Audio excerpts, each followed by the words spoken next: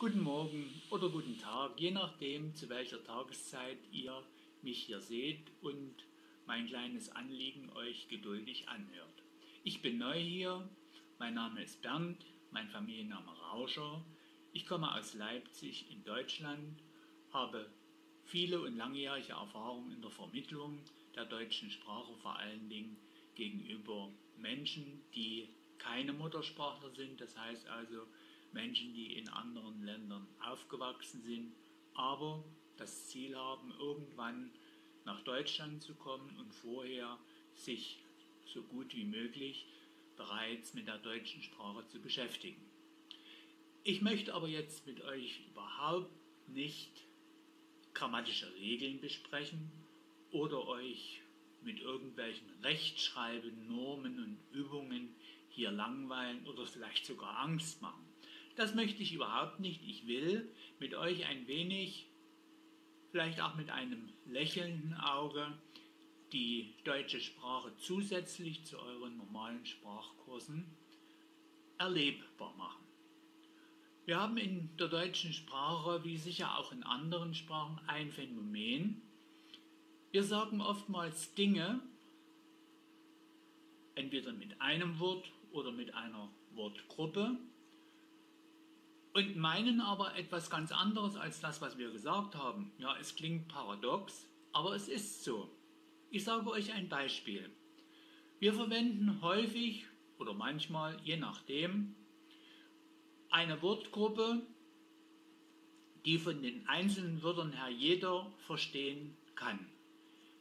Jemanden in sein Herz schließen. Ja, alle diese Worte kennen wir. Wir kennen das menschliche Organ, das Herz. Aber wir wissen doch, dass wir niemanden in dieses Organ, in unser Herz einschließen können.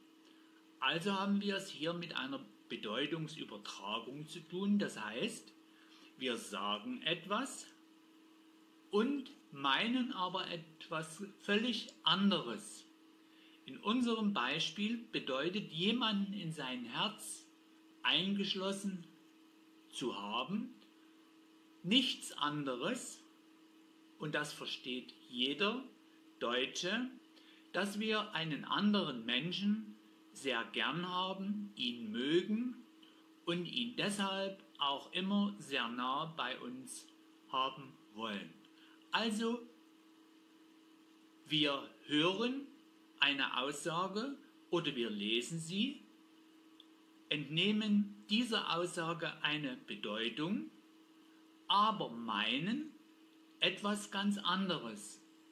Und das, was wir meinen, müssen wir beim Erlernen der deutschen Sprache auch wissen, sonst verstehen wir diese Wortgruppe völlig falsch und interpretieren Dinge hinein, die es gar nicht gibt.